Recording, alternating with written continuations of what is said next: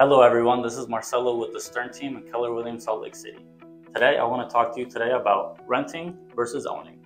Now, here in Salt Lake, we've seen some of the highest rental increases in the country. Now, the reason behind it is the average millennial earns about $68,000 a year, while the average home is $400,000. Now, let's talk about, let's dive into the numbers a little bit deeper. A regular two bedroom apartment here in Salt Lake has gone up 5% as far as rental from, from last April, which would now make it to $1,700 a month.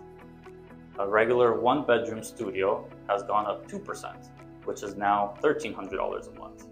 Now, let's dive in a little bit deeper into the numbers and explore the fastest growing cities here in Salt Lake. Number one, we're looking at South Salt Lake where the rental increase was 20% from last year. Number two was Millcreek, where rental rates went up 17% from last year.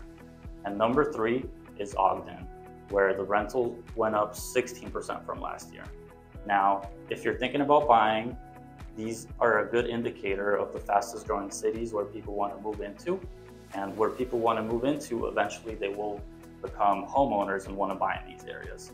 If you've had any questions about buying a home or of the home buying process, we'd love to help you out. Feel free to reach out, call, text, or email us.